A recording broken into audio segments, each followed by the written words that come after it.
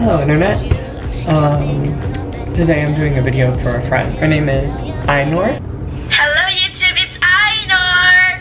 I freaking frequently post um, pictures of the food I make because I like to cook on my Snapchat. And I also have all my great friends on Snapchat. My friend Ainur from Malaysia.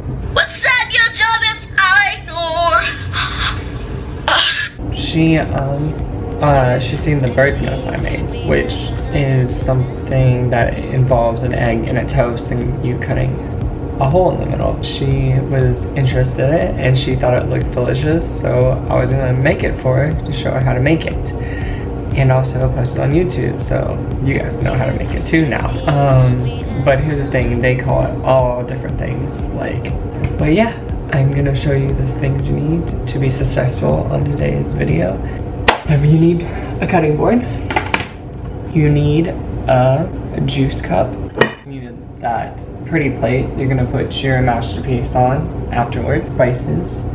You're gonna need an oven, eggs. I know it's weird, but we keep our bread in the freezer so it lasts longer. You need a pan. And you need this, a spatula, butter. And I use a lot of butter. Ugh. I use a lot of butter. I think those are the things, that, all the things you need. I think I, got, I covered all of them. So, yeah.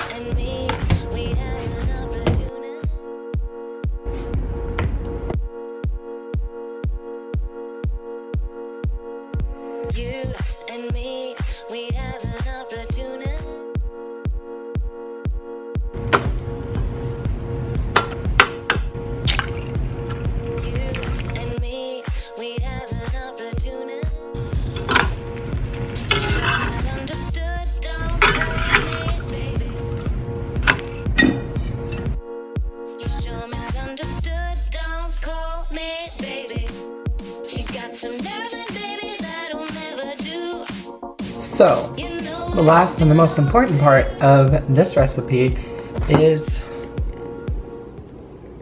doing the dishes. Also, when I do dishes, I like to watch YouTube as I do it. Best stuff. Is it considered a sport? Oh, 100%. 100% sport. So yeah, bye again, and see you next time. Mm, mm.